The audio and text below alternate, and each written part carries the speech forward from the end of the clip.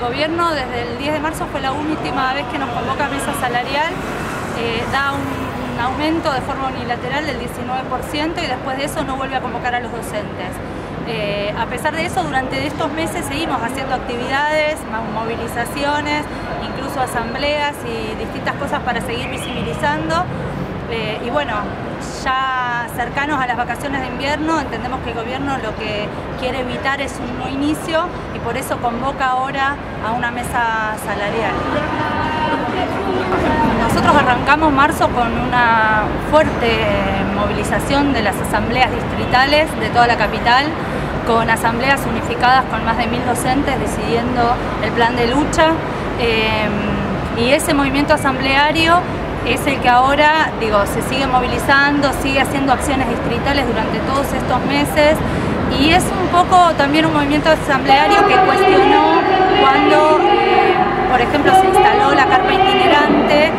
intuíamos que eso podía enfriar un poco el conflicto, en efecto, en parte fue lo que pasó y ese movimiento asambleario quedó, eh, digamos, aceptando una situación de hecho, pero que apenas hubo posibilidad salió de vuelta a las calles eh, con ganas de luchar y con ganas de además decidir en asamblea. Muy interesante porque hay un montón de compañeros que están haciendo esta experiencia de planes de lucha votados en asamblea por primera vez. Bueno, nosotros ya tenemos del año pasado una pérdida salarial del 10%. Entonces, cuando nosotros pedimos un 10% más, un 20% por este año, que sería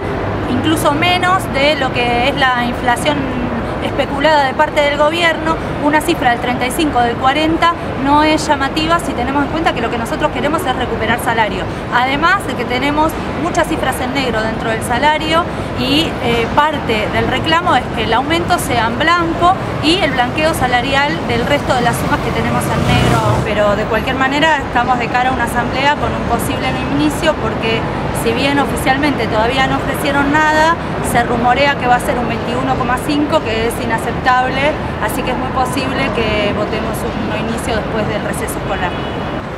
Entre otras cosas también el gobierno está planeando una reforma educativa en todos los planos a nivel nacional, que es lo que anunció como plan maestro,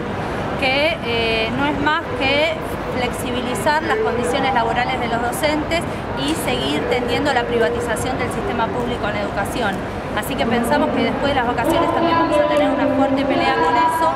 y dentro de eso la evaluación externa eh, y estandarizada que es una evaluación que imponen a los colegios y que después sacan las cifras que quieren desde ahí para justificar eh, los ajustes, los despidos, incluso eh, hablar mal de los maestros. De hecho, los